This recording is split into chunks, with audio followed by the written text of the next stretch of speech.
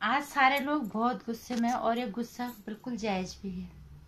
अगर देखा जाए तो और जो सच में अपने धर्म से प्यार करेंगे तो ये गुस्सा बिल्कुल जायज़ है। लोग बहुत ज़्यादा गुस्से में नमस्कार, स्वागत अपने चैनल नंदिनी जो मैं मैं हूँ नंदिनी।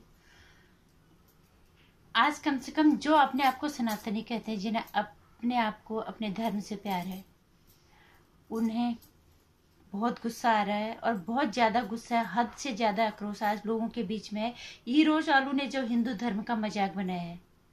हर बार हिंदू धर्म का मज़ाक बनता है तो दोगले टाइप के हिंदू चुप ही रहते हैं।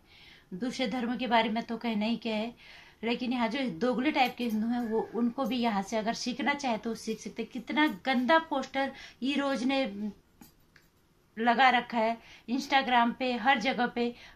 हिंदू त्योहार का नवरात्रि को कितने गंदे तरीके से उसको लोगों ने यूट्यूब पे भी डाला है, लेकिन हम, हमारे जैसे एक सामान्य फैमिली के लोग तो हम उसको दिखा भी नहीं सकते कि वो इतना गंदा है। बहुत सोचा कि उसको फेसबुक पे डाला इंस्टाग्राम पे डाला, क्योंकि हमारे, अपने लोग वहाँ पे बहुत है और उसको डालते हुए भी शर्म आ रही है। और इससे ज़्यादा हम हम मारने तो डूब मरने की बात है कि हमारे धर्म का इतना भद्दा मज़ाक इतना गंदा वो पोस्टर है, उसके बारे में ज़िक्र करना भी सर मारे उसके बारे में सोचते हुए भी। इसलिए इस हीरोज का और बॉलीवुड का बहिष्कार बहुत ज़रूरी है। यही बॉलीवुड और मैं सारे दोगले टाइप के हिंदू सबसे ज़्यादा यहीं पे रहते हैं। इन हिंदुओं के माध्यम से यहाँ तक पहुँचते हैं, फिर हमारे त्योहारों का मज़ाक बनाते हैं। ये वही दोगले टाइप हिंदू हैं जो राम मंदिर में हमें बधाई नहीं देते। और इतना गंदा पोस्टर जब हीरोज ने लगाया तो कोई इसके खिलाफ कुछ बोलने के लिए तैयार नहीं है। तो बहुत लोग बहुत कुछ कह चुके हैं। अर्णव गोस्वामी ने ट्वीट किया है सबने किया है, बहुत ने किया नीतीश भारद्वाज ने किया है। इस कारण भंडारी, उन्होंने वीडियोज़ डाला है।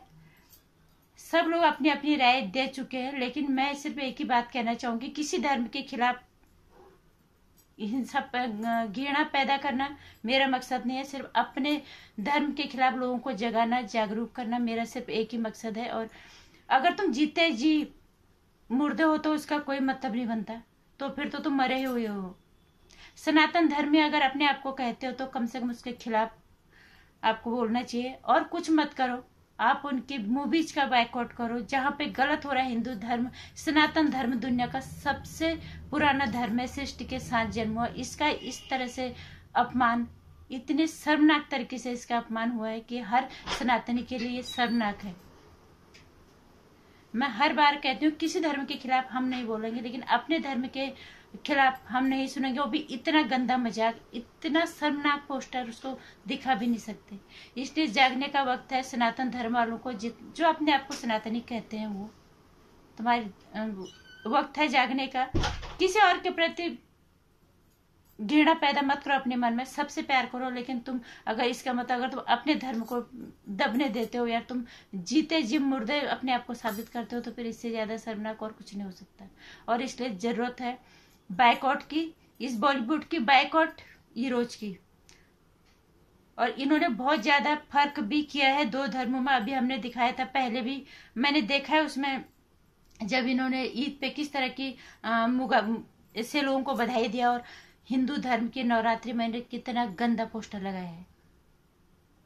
ये फ़र्क ईरोज ने किया है तो इसका बैकवर्ड बहुत ज़रूरी है। इसके खिलाफ आज सारे पोस्ट आ रहे हैं, ट्विटर से लेके इंस्टाग्राम से लेके फेसबुक से लेके यूट्यूब से हर सोशल नेटवर्किंग साइट पे जो सनातनी होगा, वो इसका बहिष्कार ज़रूर करेगा और करना भी चाहिए। अगर आपको लगता है कि हम सनातनी हैं तो और नहीं तो आपको अपने आप को सनातनी कहने का कोई अधिकार नहीं है। नमस्कार। वीडियो को लाइक करना चैनल को सब्सक्राइब कर लेना और शेयर कर देना, अगर पसंद आए तो आने वाली वीडियोज़ की जानकारी के लिए घंटे प्रेस